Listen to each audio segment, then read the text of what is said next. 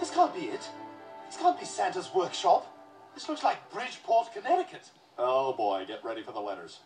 Dear Family Guy bastards, who the hell do you think you are?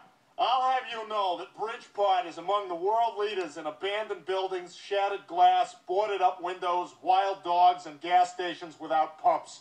So eat my Jew writers.